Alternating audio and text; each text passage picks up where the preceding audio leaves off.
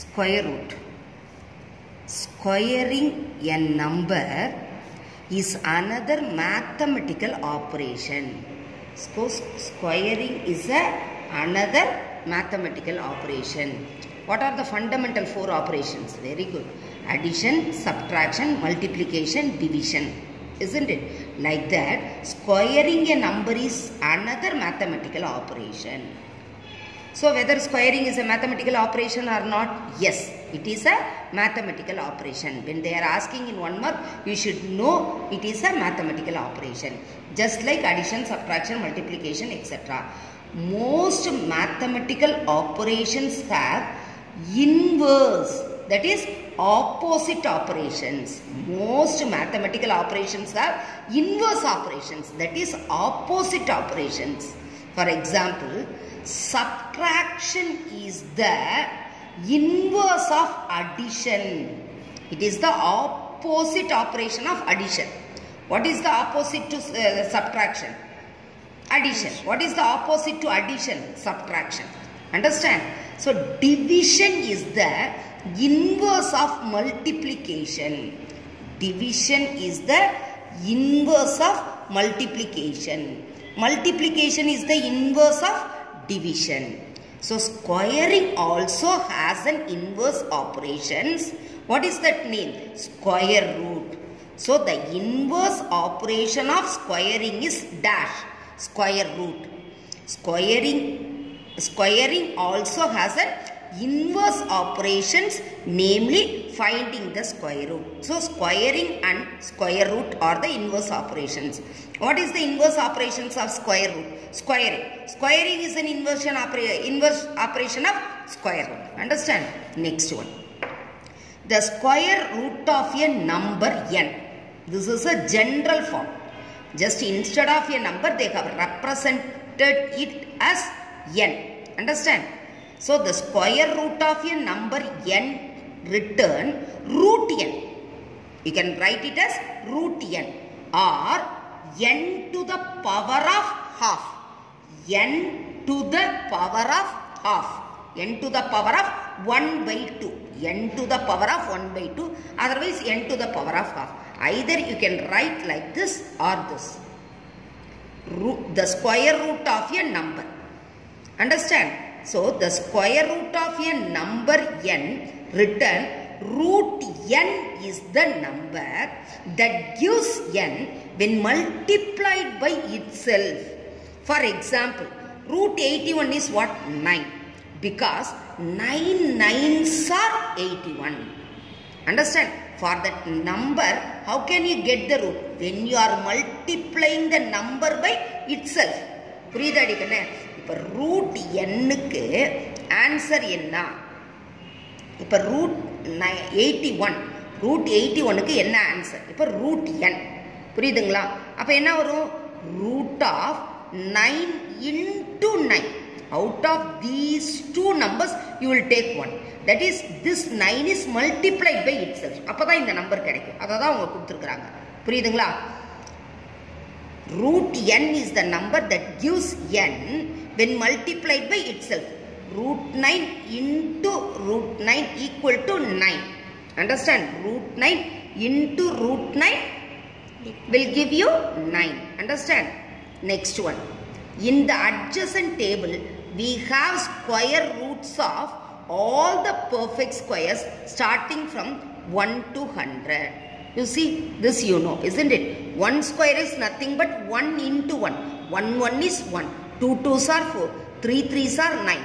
4 4s are 16. 5 5s are 25. 6 6 are 36. 7 7s are 49. 8 8s are 64. 9 9s are 81. 10 10s are 100. Like that you should be able to say it out. சொல்ல தெரியணுண்டி கண்ணு புரியுதுங்களா இது வந்து அடுத்தது இங்கே பாருங்க root one is one root one is one root 4 is 2 root 4 is 2 understand? Root 9 is 3 because 3 squared is 9 3 into 3 gives you 9 here 9 into 9 gives you 81 understand? 9 into 9 gives you 81 so root 16 what? 4 We told you no inverse operations. Understand? Root 25 is 5. Root 36 is 6. Root 49 is 7. Root 64 is 8. Root 81 is 9. Root 100 is 10. தரவா தெரியும் புரியுதுங்களா எப்போ கேட்டாலும் தெரியும் please be தரவ் with this state understand if eleven square is hundred and twenty one then what is root of 121 root of 121 is 11 11 squared is 121 root of 121 is 11 because 11 into 11 gives you what? 121 understand? Within the root you can write. With, for 121 only i am giving this. If you are writing in root root. Understand? Next 529 equal to 23 squared. 23 square understand 529 equal to 23 square. Then what is the square root of? That is root of 529 what square they have given? 23 square. So root of 529 is 23 if we know that 324 equal to 18 square we can immediately tell that root of 324 is 18 understand ஆனால் please read all this introduction part very clearly எல்லாரும் வெறும் கணக்கு போடுறதுல தான் இருக்கிறீங்களே ஒழிய இந்த இன்ட்ரொடக்ஷனுக்கு இம்பார்ட்டன்ஸே கொடுக்க மாட்டேன்றீங்க. இந்த இன்ட்ரொடக்ஷன் பார்ட்ஸ் தெரிஞ்சால் இந்த சம்மன் நம்மளே ட்ரை பண்ணலாம். டீச்சர்ஸ் நடத்துறதுக்கு முன்னாடியே நம்ம ட்ரை பண்ணலாம். We can try on our own புரியுதுங்களா? அடுத்தது we have one squared equal to one and so one is the square root of one Similarly, minus 1 the whole square equal to 1. Why? For minus the power is even number. Understand? The power is even number. That is minus 1 into minus 1. Minus into minus. Plus 1 1 is 1. Understand? So for minus 1 the whole square also you are getting 1. For 1 square also you are getting 1. 1 square equal to 1. Minus 1 square equal to 1. Similarly you can say for 2 no so minus 1 is also the square root of 1 understand? So minus 1 is also square root of 1 but root 1 is equal to 1 understand? Root 1 is equal to 1 next one is what? Minus 1 is also square root of 1 root 1 is equal to what? Minus 1 understand? So 2 squared is 4 and so 2 is the square root of 4 similarly minus 2 the whole squared equal to 4 so minus 2 is also the square root of 4 so root 4 is what? 2 root 4 is minus 2 so plus 2 minus 2 understand? So this continues. 3 square is equal to 9 and 3 is the square root of 9 similarly minus 3 the whole square equal to 9 so minus 3 also a square root of 9 here the above example suggests that there are two integral roots for a perfect square. Understand? How many integral roots are there? Two integral square roots. Two integral square roots. There are two integral square root or a perfect square number. Or a perfect square number. The above example suggests that there are two integral square roots. Or a perfect square number so integral square root போது root 4 root 4 equal to plus 2 minus 2 so how many integral roots two integral roots but how many perfect square only one perfect square yeah means what one perfect square understand how many perfect square one perfect square for that one per perfect square how many integral square roots two integral square roots understand so however in working out problem we will take up only positive integral when we are working out problem what will we take only positive integral square root what we will take only positive integral square root we are not taking negative the positive square root of a number denoted by the symbol இதாட்டிக்கான symbol இதுக்கு பேரு radical radical symbol what is the name of the symbol radical இது one மார்க்ல கேட்பாங்க they will ask in one mark. What is the name of the symbol? Radical. Thus, root 4 is 2 and not minus 2. Also, root 9 is 3 and not minus 3. We have to remember that this is a universally accepted notation. Here you see. Next one. Square root through prime factorization. Before doing this, you should know the prime numbers. Prime numbers means it has only two factors. One and the number itself. For 2, what are the factors? 1, 2. For 3, what are the factors? 1, 3. For 5, what are the factors? 1, 5. But for 4, what are the factors? One, two, four. So this is not a prime number. This is a composite number. First is 6. 6 can be splitted. Prime factorization of the numbers. 6. What is it? 2 3s are 6. Next 8. 2 into 2 into 2. How can you write like this 8? Because 8. Isn't it? 2. 4 2s are 8. 2 2s are 4. Isn't it? Next similarly 12. 12 means what? 12. First one is what? Prime factorization. Understand? Prime number you got. 6 2s are 12. Again what? 2. 3. So 2 into 2 into 3. Next 15. What is it? 5 ending with 5. So I am taking 5. 5 is a prime number. How many 5s? 3 5s are 15.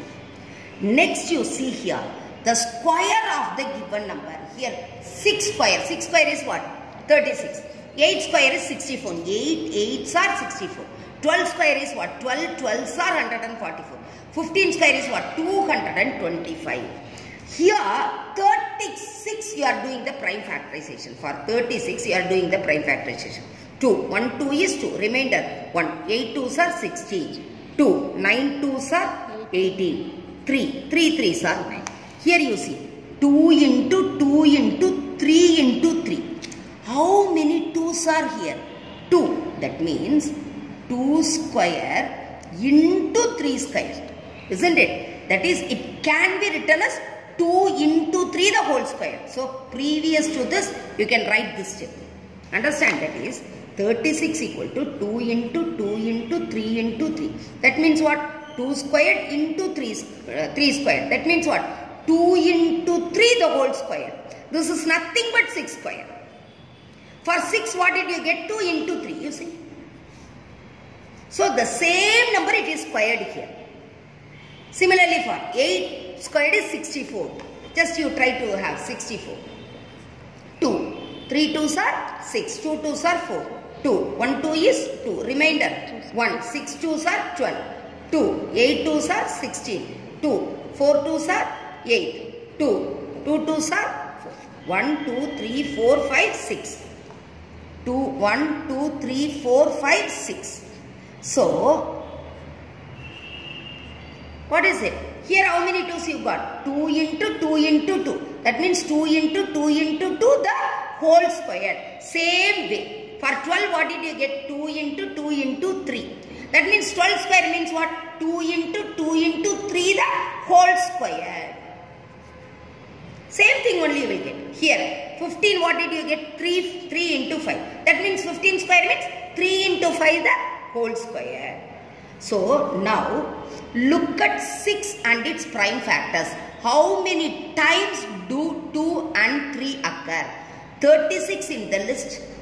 எத்தனை தடவை 2 times 2 into 3 2 times understand 2 into 2 into 2 2 times புரியுதாடா Kanna now now look look at its square 36 and its prime factor how many times do 2 and 3 occur in 36 here பார்த்துட்டோம் நம்ம so repeat the above cases இதுலேருந்து நமக்கு என்ன கிடைச்சது இதுதான் the number of times a prime factors occur in the square of a number equal to how many times twice the number of times twice the number of times இதுதான் twice the number of times it occurs in the prime factorization of the number புரியுதுங்களா வந்திருக்கா டூன்னு வந்திருக்குதா இல்லையா twice two into த்ரீனா twice புரியுதுங்களா அடுத்து என்னது? டூ இன்ட்டு டூ இன்ட்டு டூனா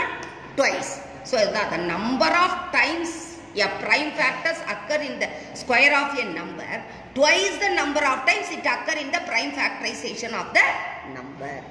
So இதுதான் கன்க்ளூஷன் புரியுதுங்களாடா கண்ணா? Do you follow so you please read the introduction carefully and try to frame a one mark on your own understand thank you